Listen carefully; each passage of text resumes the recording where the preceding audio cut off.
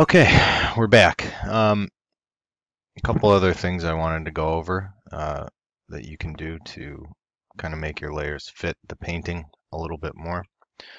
Once you have everything the way you want it, um, oops, get rid of that. Uh, once you have everything the way you want it, one cool thing you can do, um, one thing that we haven't really gone over or tried yet um, is filters. Now what we can do with a filter, in the case of Miley's face here, um, you can see that our gentleman in the painting is composed of obvious paintbrush strokes and Miley here is obviously a photo. Okay, so one thing you can do to make Miley's face fit a little bit better with the surrounding painting, uh, go to filter and if you go to artistic and paint daubs, what it'll do is give you a chance to make it look a little bit more like it's painted rather than um, simply a photograph.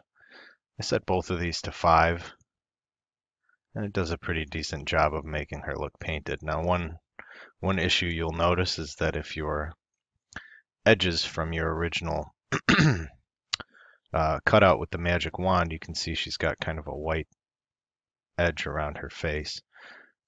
One other thing you can do in this situation also is to take the magic wand, select everything in the image, um, press Control Shift I so that it's just Miley's face, and then we're going to modify our selection.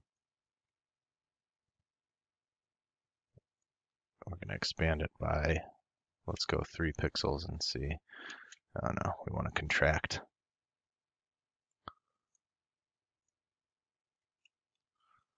We'll contract by two.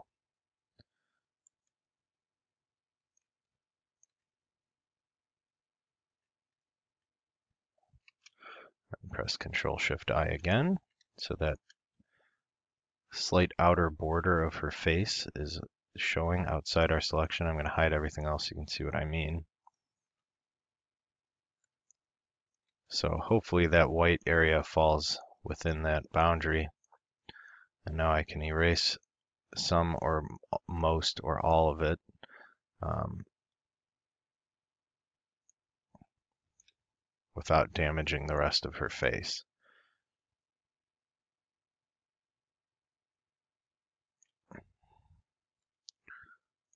Let's try and turn everything back on here.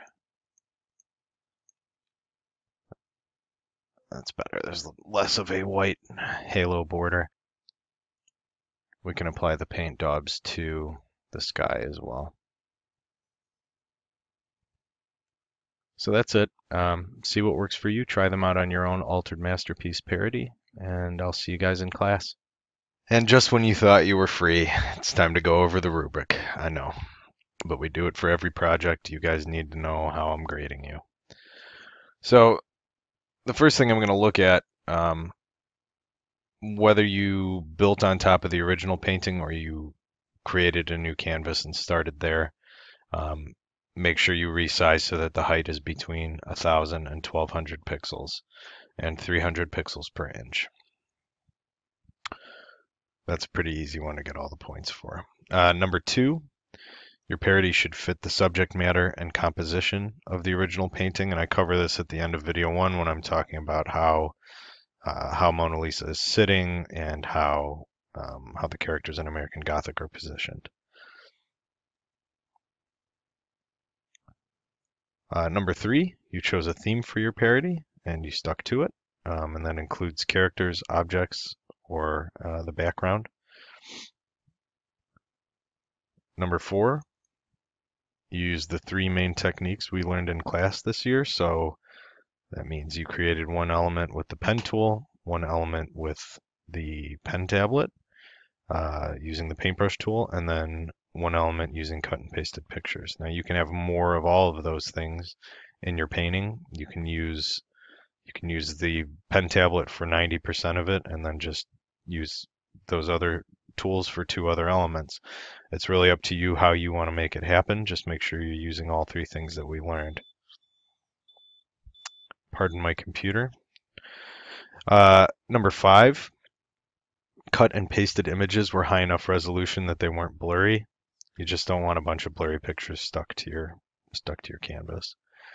Um, number six, any tool, the shape or shapes that you make with the pen tool uh, should have clean edges and clean curves.